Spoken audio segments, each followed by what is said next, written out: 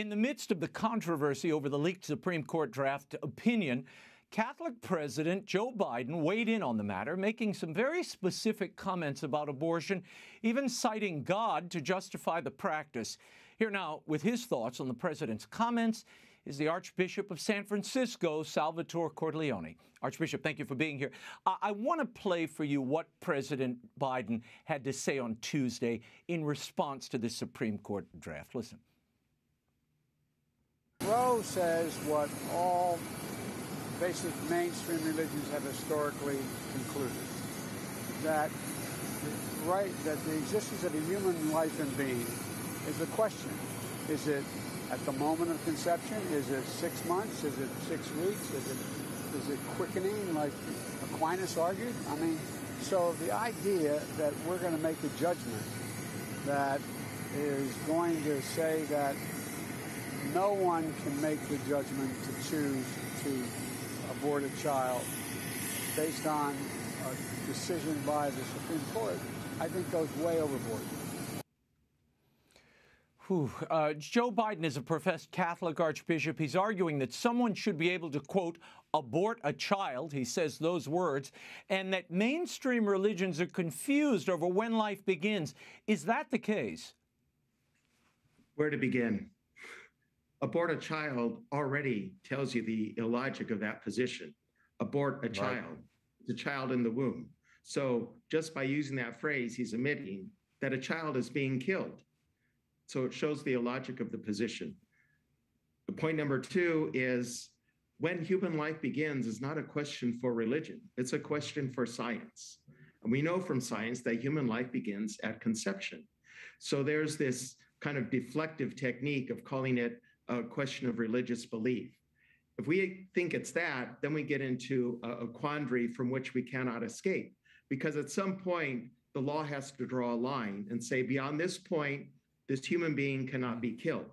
So it will be, in effect, the government deciding which religious belief everyone has to accept. At least um, we can infer that because if we base the idea on a human life should not be innocent human life should not be killed. Or we're saying it is a human life but it ha- it can legally be killed up to this point.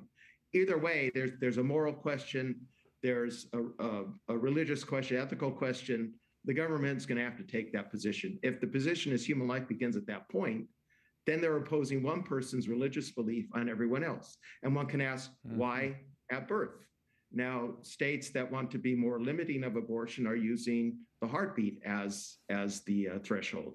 Uh, what about the brainwave activity? What about on the other end when the child utters the child's first words? That shows self-reflective consciousness. Someone could their religious could believe could be that that's when human life begins. So should it be legal to kill a child outside of the womb before the child utters the first words? So this gets mm. us into an unescapable um, uh, quagmire. And we have to, there are different aspects, right? There's the scientific aspect when human life begins. Mm. There's the moral aspect about it's wrong to kill innocent human life. There's the legal aspect about what rights does a human life have in different stages of life, uh, different conditions. You know, minors don't have some rights that adults have. People have committed felonies mm-hmm. are deprived of their liberty if they're convicted and so forth. Uh, so th- those are legal questions. There are all these different aspects. The religious question has to do with when the soul enters the body and what what are the implications of this human life be made in the image and likeness of God. These are the religious theological aspects. Mm-hmm. Yeah, but that has no bearing on this. Uh, look, uh, Archbishop, when I first heard the president say this, I thought clearly this is a, uh, perhaps in, in, in the opinion of some, a smart political operation underway to uh, put all of these justices who are supporting the overturning of Roe in this religious box and say, well, you see, they're these odd religious people who feel they have to vote this way, and they, th- their ruling should be considered in that light. How should the church and the bishops respond to Biden's complete distortion, it seems to me, of his professed faith when it comes to abortion? we've been trying to be clear on this that it's not a matter of religious belief. We're not trying to impose our religion on everyone else. Is that what abolitionists were doing in the middle of the uh, 19th century? Were they imposing a religious belief that slavery is wrong on everyone else? There are certain ethical, moral questions that are universal goods that we know from reason alone, right? We always make this mm-hmm. distinction in our Catholic tradition of faith and reason. There are some things we can know from reason alone, certain basic ethical principles we can know, such as we should not kill innocent human life is one such example. We can know that from reason alone. And and our law recognizes this in so many different ways. Homicide is wrong. That's not a religious belief. Religious endorses it, backs it up, gives us deeper insight into these uh, moral questions. Uh, arson, embezzlement, all these things are all they're moral issues that are also crimes because they're wrong. Yeah. So killing an innocent human life should also be wrong. Now we get into other legal questions about the criminalization and the punishment of people involved and all that. There, there can be, we have to understand mitigating circumstances and all that. But it's it's not a religious question. Religion gives us deeper insights and, and teaches us right from wrong. Mm. But many of these things we can know by reason alone. Hmm. It's been a year since you wrote your pastoral letter, uh, Before I Formed You in the Womb, I Knew You, uh, which touched on human dignity and the unborn and Holy Communion and Catholics in public life. In it, you write, quote, those who reject the teaching of the Church on the sanctity of human life and those who do not seek to live in accordance with that teaching should not receive the Eucharist. Should Biden receive the Eucharist, Archbishop? I was trying in that pastoral letter to lay out the basic Catholic teaching, which we've always believed from the beginning. And with in terms of being properly disposed to receive Holy Communion, one cannot be in a state of mortal sin. Mortal sin. We speak about it being in a state of grace, right? And if they mm-hmm. are, God gives us the great blessing of the sacrament of penance. We can avail ourselves of that, receive His forgiveness in the sacramental absolution. So, someone who promotes a grave moral evil, such as the killing of innocent human life, uh, is participating in that. That is very serious, and they're implicated in the sin. One could argue, well, they have to know that it's wrong. That's true. There has to be knowledge that it's it's wrong, and there has to be the full consent of the will.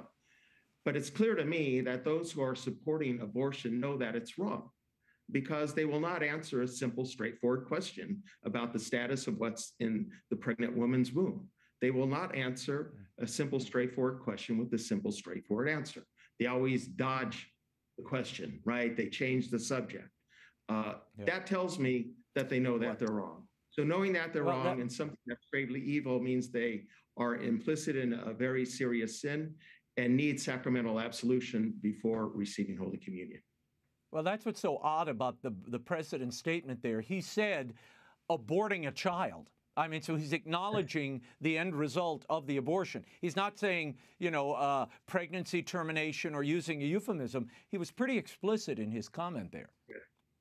Yes, and it shows it shows what they really believe or what they really know in an unguarded moment. You know, when they forget to use their kind of deflective terminology, it shows that they mm. really know what's going on. Uh, a member of your flock, Nancy Pelosi, the Speaker of the House, is also invoking her faith to justify abortion. Listen to this from this week. Draft of a decision that was an assault on women, lack of respect for women and their judgment, but it was a did violence not only to women but to the Constitution of the United States. Now, I have five children in six years and one week. Catholic, went to church in Poland and all that. So um, I mean, I, I respect the views of other people for themselves. I don't think they have any business telling women how they should deal with their own reproductive freedom. Your reaction, Archbishop? This is clearly contrary to everything we believed from the very beginning. Uh, the great one of the many great blessings of Christianity was bringing a higher moral standard into the world, and from the very beginning, the church has recognized the evil of abortion and has condemned it. Uh, so this is clearly out of line with uh, our Catholic principles, again, which are based on on, on reason as well. They're they're certainly not irrational. They're very reason based. And uh, the idea of not making decisions for someone else, again, where do we draw the line? Why do we draw the line at birth? And What is really frightening is some on the pro abortion side are already beginning to speak about termination of life after birth. So, how much further are they going to drag it out? Are we going to impose our beliefs on someone else who want the child killed after birth? And it seems uh, preposterous. We have to recognize the pro abortion side has been getting more and more extreme in, in their positions. Remember the old phrase, legal, safe, and rare? When do we hear that anymore? So uh, mm. it's it seemed they came to seem to keep being becoming more and more extreme because it's based on a fallacy to begin with. Hmm. USCCB pro life chairman uh, of the Bishops' Conference, uh, William Lori, Archbishop Lori, issued a statement on Wednesday in response to this leaked draft of the SCOTUS opinion. He writes in part As Catholics, we care about every unborn child and every mother. Our church has consistently witnessed in word and deed that life begins at the moment of conception. As we await the court's decision, we urge everyone to intensify their prayers and fasting that the final decision of the court will bring about the reversal of Roe and Casey. Now, Archbishop, assuming the final draft looks uh, like the draft we see before us that the court has affirmed that is indeed Alito's draft, how will this impact the pro life movement and the bishop's posture at both the state and the local level? Keep doing what we're doing. Uh, we, we, will need to redouble our efforts uh, in both places, both states that are going to become far more radical with abortion, such as my own state of California, and those stations, states that are going to limit it, and especially if they're going to outlaw it, we need to redouble efforts to love them both, right? This has been our approach all along love them both. Women in crisis pregnancy uh, need support, they need love. The irony is when they speak about choice, it's only women of means who have choice. Uh, women who are struggling economically so often really have no choice. You have no choice but abortion. So if they're in a state uh, where they're they're struggling and they find themselves in this crisis pregnancy, they just like anywhere else, they need to be surrounded by love and support. They need someone to walk with them, someone to tell them that it'll be okay. We're going to get this through this together. They need resources. I, I'm appalled that some states like my own and, and, corporations too are going to pour massive resources into bringing women here to have abortions but they're not putting those resources in, into efforts to give her the support she needs to give birth to her child and then whatever decision she thinks is right for her to keep the child parent the child herself put the child up for adoption.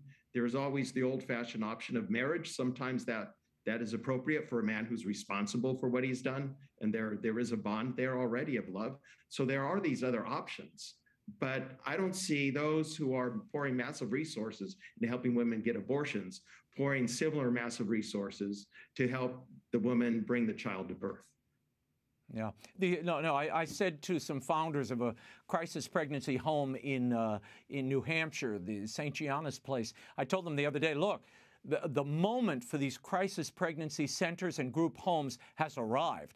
Uh, if Roe is struck down, women are going to be looking for an alternative and a safe place, a home for they and their children. And um, perhaps uh, you're right, that moment has come, and these corporations should think about uh, building closer bonds with their employees and giving women that option to have their child. Yes, a woman, a woman should never feel abandoned and afraid and all alone. That leads to disaster. Uh, she needs yeah. to be surrounded by love and support. And I'm so proud of our Catholic, fellow Catholics and other people of faith who are running these these crisis pregnancy clinics. We're the only. I, I like to call our side the pro-choice side on this issue because our crisis pregnancy clinics offer her all the other choices, there's only one choice they don't offer. And the abortion clinics mm. offer only one choice. And one choice is no choice. You have to have at least two options to have a choice. Archbishop Salvatore Cordileone, I thank you for your time and your clarity. You're welcome. Thank you.